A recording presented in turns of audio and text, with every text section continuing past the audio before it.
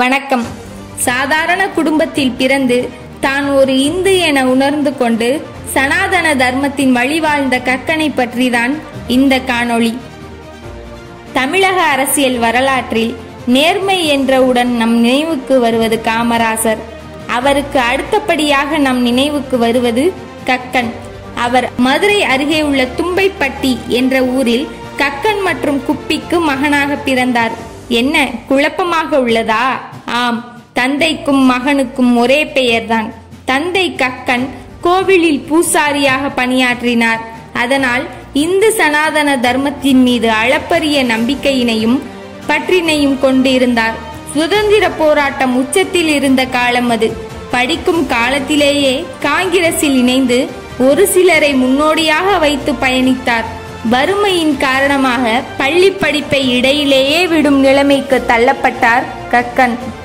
மக்களுக்கு சேவையாற்றும் மனப்பான்மையையும் ஆர்வத்தையும் புரிந்து கொண்ட வைத்தியநாத ஐயர் கக்கனுக்கு மதுரையில் உள்ள சேவாலயம் என்ற விடுதிக்கு காப்பாளர் வேலையை வாங்கி கொடுத்தார்.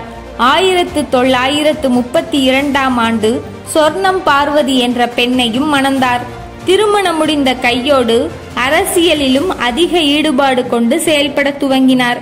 அதனால் காங்கிரஸில் ஒரு சில முக்கியமான தலைவர்களுடன் நெருங்கிய தொடர்பும் ஏற்பட்டது. அப்போது காந்தி மதுரைக்கு வந்தார்.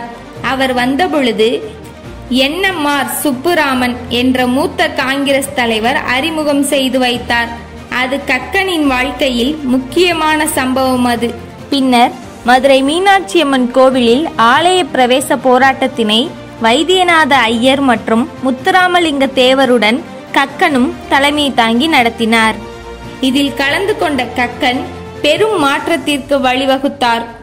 அந்த போராட்டம் வெற்றி பெற்றதனால் காங்கிரஸ் கட்சியில் மிக பெரும் மதிப்புக்கு ஆளானார் கக்கன் அதனால் மதுரை மேலூர் வட்டார காங்கிரஸ் செயலாளரானார். அதுதான் காங்கிரஸில் அவர் வகித்த முதல் பதவி. பின்னர் காந்தி அறிவித்த நாடு தழுவிய போராட்டத்தில் பங்கேற்ற கக்கன் பிரிட்டிஷ் அரசால் கைது செய்யப்பட்டார். பின்னர் போராட்டமும் சிறையும் தொடர்ந்தன. வட்டார காங்கிரஸ் தலைவராக இருந்த கக்கன் மதுரை மாவட்ட பொருளாளரானார். பின்னர் வந்த வெள்ளையனை வெளியேறு போராட்டத்தில் ஈடுபட்ட போது போலீசாரின் கண்ணில் சிக்காமல் தப்பிக்க தலைமறைவானார். ஒரு கட்டத்துக்கு மேல் தாக்கு பிடிக்க முடியாமல் போலீசாரின் பிடியில் மாட்டினார். மேலும் போராட்டத்தின் குறிப்புகள் எல்லாம் கக்கனுக்கு தெரியும் என்பதனால் மற்ற தலைவர்கள் பற்றி குறிப்புகளை சொல்லுமாறு பெரும் சித்திரவதை செய்தது கிறிஸ்தவ பிரிட்டிஷ் அரசு. ஆனால் ஒரு துப்பு கூட கிடைக்கவில்லை. தான் கொண்ட கொள்கையில் பெரும் திடமாக இருந்தார் கக்கன் இதனாலேயே ஆத்திரமடைந்த கிறிஸ்தவ பிரிட்டிஷ்காரர்கள் அலிப்பூர் சிறைக்கு அனுப்பி வைத்து பதினெட்டு மாதங்கள் பெரும் சித்திரவாதைக்கு உள்ளாக்கியது. பின்னர் வெளியே வந்த கக்கன் ஆயிரத்து தொள்ளாயிரத்து நாற்பத்து ஆறாம் ஆண்டு சட்டமன்ற உறுப்பினராகவும் ஆயிரத்து தொள்ளாயிரத்து ஐம்பத்தி இரண்டாம் ஆண்டு மக்களவை உறுப்பினராகவும் தேர்ந்தெடுக்கப்பட்டார். பெரிய பெரிய பொறுப்புகள் வந்தபோதும் எளிமையையும் சுய தன்னடக்கத்தையும் கொண்டதால் காமராஜர் மனதில் பெரும் மதிக்கத்தக்க ஆளானார். பின்னர் ஆயிரத்து தொள்ளாயிரத்து ஐம்பத்து நாலு முதல் ஆயிரத்து தொள்ளாயிரத்து ஐம்பத்து ஏழு வரை தமிழக காங்கிரசின் மாநில தலைவராகவும் பொறுப்பு வகித்தார். அப்போது நடந்த தேர்தலில் கட்சி வெற்றி பெற காமராஜர் தலைமையில் ஆட்சி அமைக்கப்பட்டது.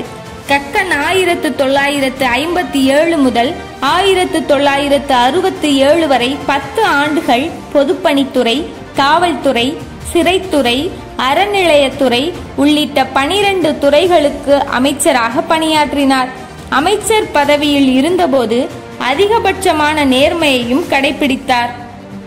சிபாரிசு பரிந்துரை போன்றவற்றை அடியோடு நிராகரித்தார். துறை சார்ந்த திட்டங்களை கொண்டு வருவதில் அக்கறையையும் பேரார்வத்தையும் செலுத்தினார் கக்கன்.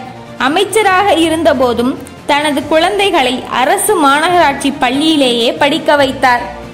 கக்கன் அமைச்சராக இருந்தபோதுதான் மேட்டூர் அணை வைகை அணை கட்டப்பட்டது. விவசாய அமைச்சராக இருந்தபோதுதான் தமிழகத்தில் இரண்டு வேளாண் பல்கலைக்கழகங்கள் திறக்கப்பட்டன. மேலும் காவலர் பயிற்சி பள்ளிகளை உருவாக்கியது. ஜாதி கலவரங்கள் வருவதை தடுக்க உள்ளூரிலேயே ரகசிய காவல் படையை தொடங்கியது. லஞ்ச ஒழிப்பு காவலர் பிரிவை தொடங்கியது என அநேகம். பின்னர் ஆயிரத்து தொள்ளாயிரத்தி எழுபத்து ஒன்றாம் ஆண்டு காமராஜர் ஸ்ரீபெரும்புதூர் தொகுதியில் கக்கனை நிறுத்தினார். வெற்றி கிட்டாததால் அரசியலில் இருந்து முற்றிலும் விலகி ஓய்வுக்கு சென்றார் கக்கன்.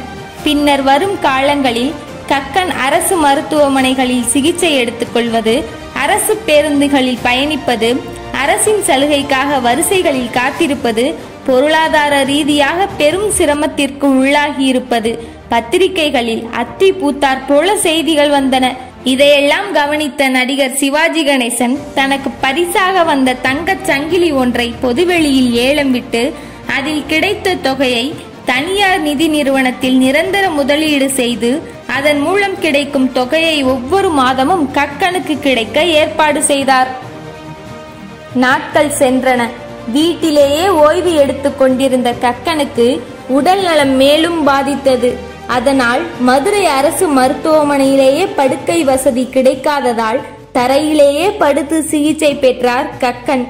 இதனை அறிந்த அப்போதைய தமிழக முதலமைச்சராக இருந்த எம் ஜி ராமச்சந்திரன் நேரில் வந்து கக்கனை பார்த்து நலம் விசாரித்ததுடன் மருத்துவர்களிடம் அவருக்கு சிறப்பு சிகிச்சை அளிக்க உத்தரவிட்டார். ஆயிரத்து தொள்ளாயிரத்து எண்பத்து ஒன்று டிசம்பர் மாதம் இருபத்து மூன்றாம் தேதி சென்னையில் கக்கன் காலமானார். இவர் நாட்டுக்கு ஆற்றிய பணிகளை பாராட்டி இந்திய அரசு கக்கனின் உருவப்படம் பொறித்த சிறப்பு அஞ்சல் தலையினை ஆயிரத்து தொள்ளாயிரத்து தொன்னூற்று ஒன்பதாம் ஆண்டு வெளியிட்டு கௌரவப்படுத்தியது.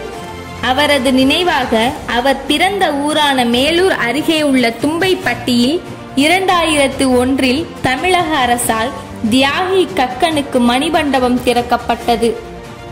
இவர் போன்ற நேர்மையாக வாழ்ந்த தலைவர்கள் பாரதத்தில் ஏராளம் ஏராளம். அவர்களை படிப்போம் அவர்களை பின்பற்றி நடப்போம். நன்றி வணக்கம்.